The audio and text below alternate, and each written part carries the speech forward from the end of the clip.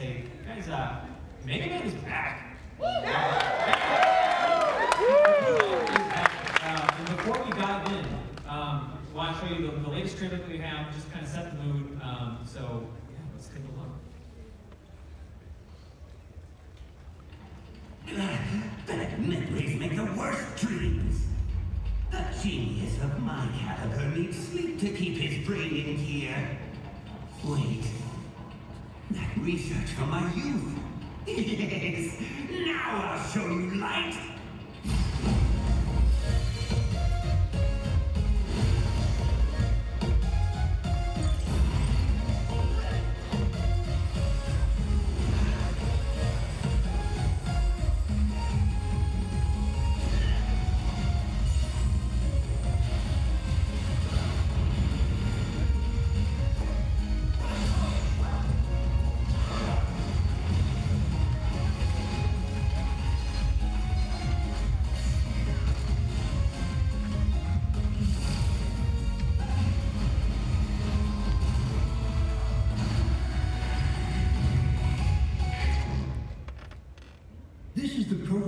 Double gear system that Wily developed back at Robot University.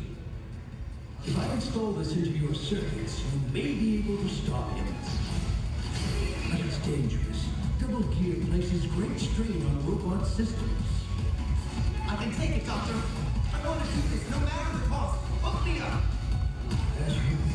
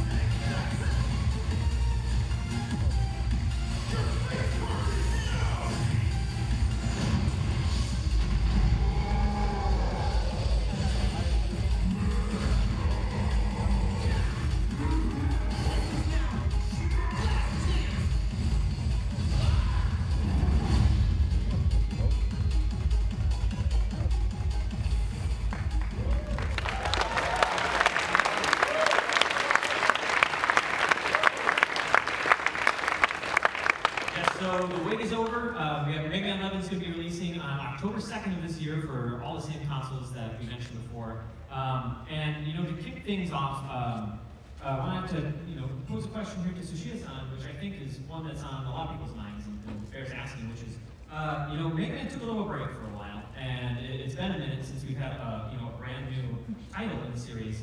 Um, and so, you know, why is now the right time for uh, Mega Man 11?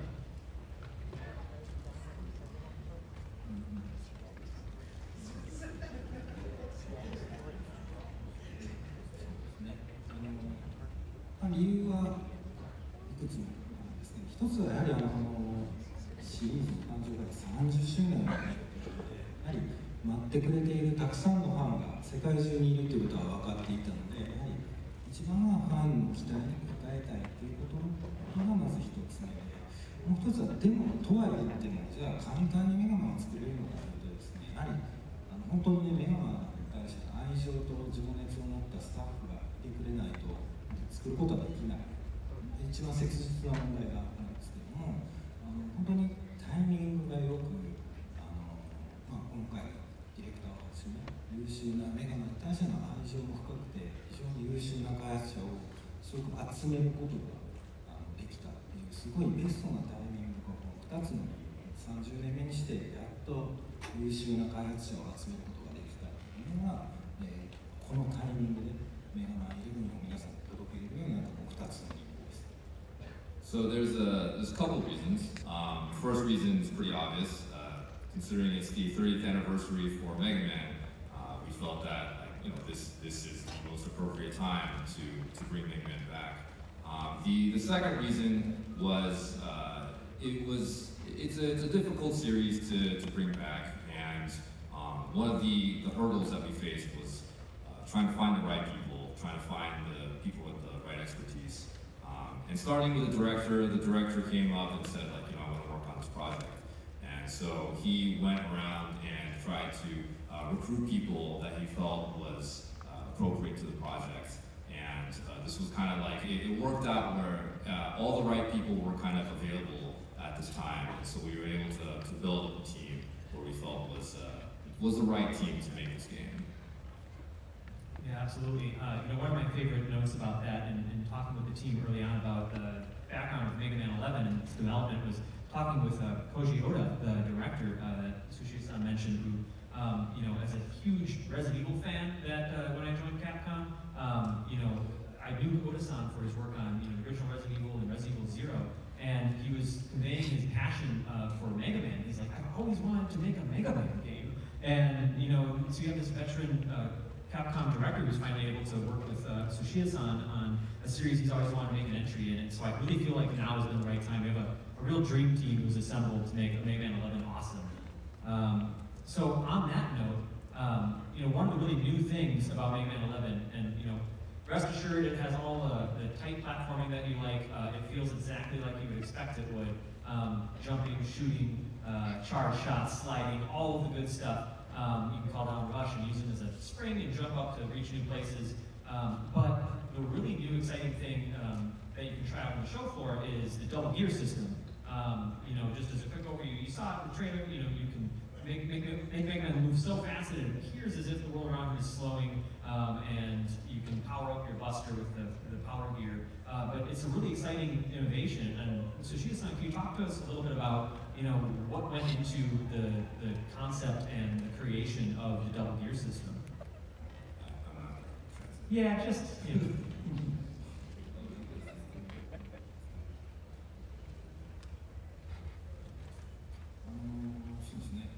まず皆さんが期待しているその本当のゲームのシステムというのは完全にまず再現あ体験できるでしょう。その上で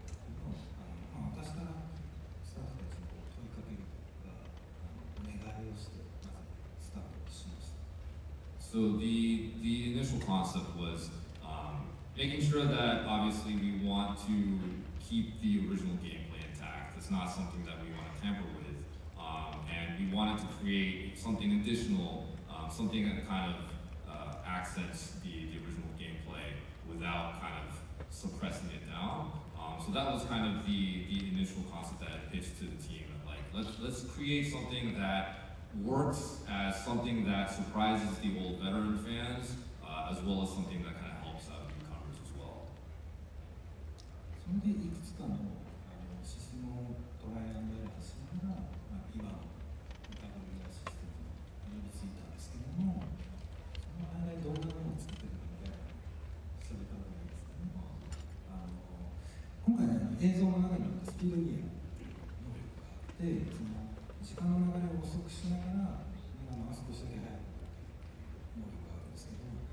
コー2倍掛け3倍掛けみたいな2倍発動3倍発動のスピードゲームとかって言うと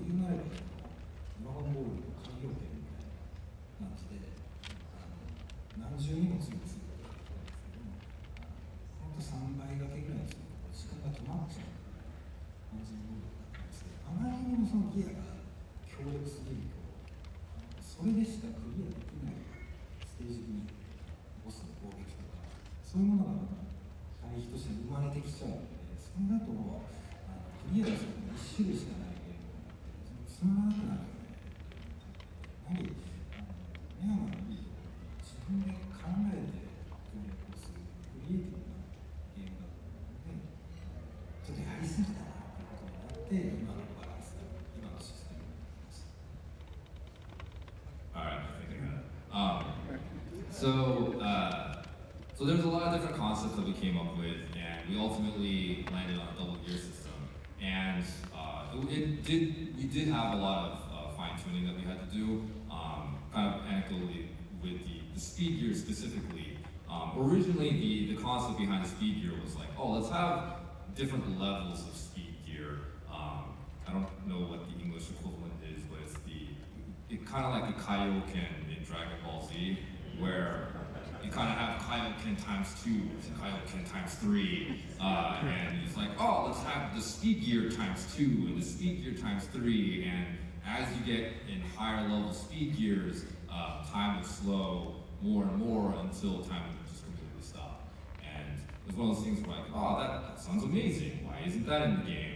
Um, and the reason being was as we play tested the game, we found that it actually inhibited the uh, amount of freedom that the player had.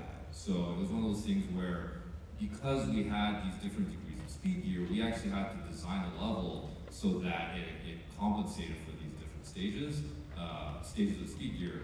And we found out that like, oh, we would end up creating stages that you could only complete it by executing a certain level. Um, and that wasn't something that we wanted to kind of force down the player's throat. We wanted to create a game where the player has a freedom, like the, the player has these tools, and the player can ultimately choose, like, this is how I want to play the stage, this is how I want to play Mega Man. Uh, so we ended up kind of scrapping that whole concept, uh, and we have the uh, double gear system that you see now. Yeah, whatever, you know, sometimes things that sound good in a brainstorm session uh, don't always work as well in actuality. But the way that the speed gear actually ended up feeling is really great. Um, you know, you can really just slow down time to get a little bit a, of a feeling for a robot master's patterns or you know, stop a, a, you know, a block from falling on you. Um, and it feels really nice. And one thing for like the hardcore purists out there, uh, I encourage you to try the speed gear and power gear and the whole double gear system. Awesome. Uh, but you can play the entire game without using it. So if you want that extra level of like, oh boy, Mega Man challenge, um, it's there for you if you want it, uh, if you're a true masochist. Uh, because once you try it, um, you'll, you'll love it. Um, so that's, that's one of the, the fun things to work on.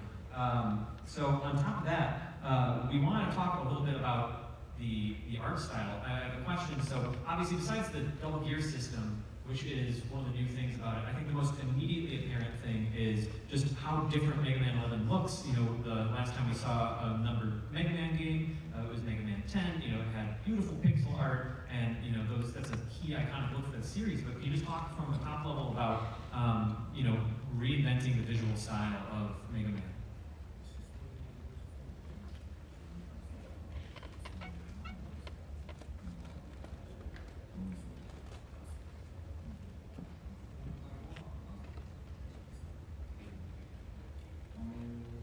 回はやはりですねあの本当にゲームの良さを生かしながらやはり現代のハードの水準にが目指した合わせた進化はやはり必要になるだろう8ビットの表現っていうのもあの考えなくはなかったんですけれどもやはりスタッフ全員結論としてはやはり現代の若いゲーマーたちに好きになってもらいたい。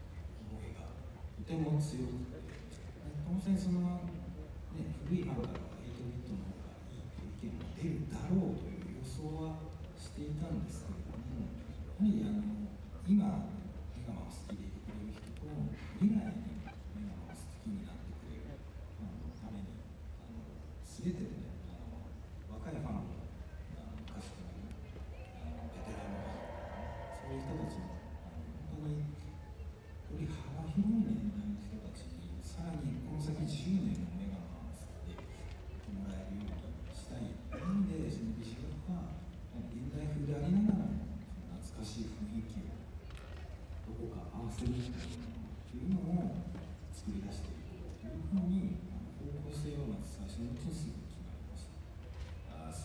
there, was a fair amount of brainstorming initially about like what kind of visual look that we wanted to take. Um, and naturally, one of the things that did come up was like, oh, maybe we want to showcase like a classic 8-bit style. Um, and, and we definitely knew that if we deviated from that, there would definitely be like the, the hardcore fans that would be like, oh, how, how dare you move away from 8-bit. Um, but one of the, the main goals that we had was like this this is a franchise that we want to keep going we wanted to, to make sure that it had a visual style that uh, would cater to uh, a, younger audience as well. Um, you know, for, for us, this is something that we want to keep not just now, but we want to keep it going 10, 10, 20 years from now. Um, and we figured like, all right, let's let's go with a look that represented represents Mega Man with the modern hardware, uh, which is what you see now. Yeah, and you know, seeing it in motion is, is one thing, and, and playing it yourself. And so hopefully you'll have a chance to come down and check it out. Uh, I, you know, as a platformer fan myself, I've played a lot of you know the sort of 2.5D platformers, and you know they don't all control exactly like I'd want them to, as precisely. And uh, there's been real care by the team to make it so that you really understand where the edge of each platform is, and it feels exactly like it should, um, despite it being a whole new visual style. So rest assured there. Um, on the topic of art, um, you know, I think we saw this guy pop up uh, a minute ago, um, but this is the first Robot Master that we have uh, revealed. This is Block Man. Uh, that's the stage that you can play on the show floor and try to get through the, I've only seen a handful of people get to him, maybe like, actually maybe like 12 or 15 people gotten to that, that fight, so I challenge you to come down and, and try to get to Block Man yourself. But we wanted to talk about